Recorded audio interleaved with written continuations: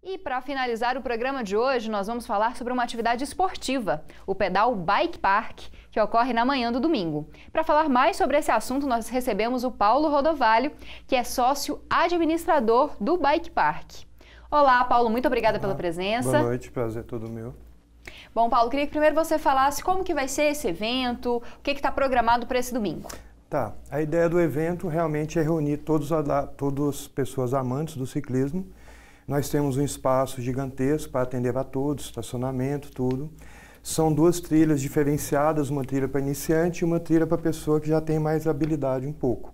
Essa trilha iniciante são de 23 quilômetros e a outra de 36. Então, assim, aguardamos a presença de todos, mas a pessoa realmente tem que levar sua bicicleta, todo equipamento de segurança e tem que ter uma disposição realmente para pedalar 23 quilômetros, que no caso é iniciante. Né? Então não é todo mundo que pode participar, tem que ter um equipamento específico e também uh, uma... condição física para fazer. Isso, uma prática, é, já tem que estar acostumado a andar já de sempre, né, tendo todo o equipamento de segurança. Mas além do, da pessoa ter que levar a sua própria bicicleta, o evento oferece algumas facilidades, né? Isso. Como, por exemplo, água também para os participantes. Como é que é, Paulo? Exato. Nós temos toda uma estrutura né, num, num posto de combustível que é nosso, nosso ponto. E em volta desse posto nós temos o Morro Feio, que é um morro que tem a prática maior de pessoas mais habilitadas, que são percursos mais difíceis. E em volta desse morro nós temos duas estradas, que é o Porquinho e o Porcão, são denominadas dessa forma.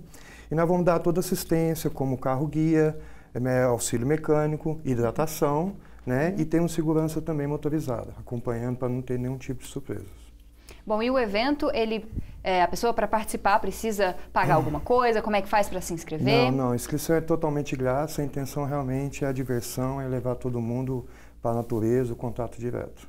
E como que faz para inscrever? Tá, a inscrição vai ser na hora, lá na, no, no, ponto.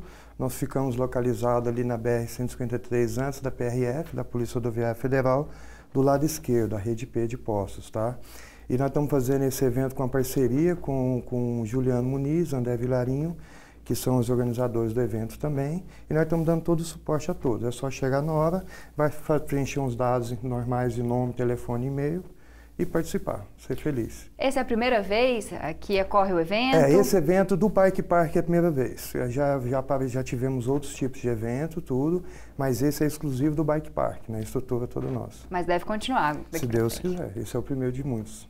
Bom, para finalizar, queria que você deixasse aí um recado para quem ficou interessado em participar, quem tem uma, uma, bicicleta e provavelmente vai lá no domingo, uhum. algumas orientações em relação ao tipo de roupa, a tipos de equipamento de segurança, também ao uso de protetor solar, só para as pessoas não saírem de casa despreparadas. Isso. Será domingo às 8 horas da manhã, estamos saindo com duas turmas, tá?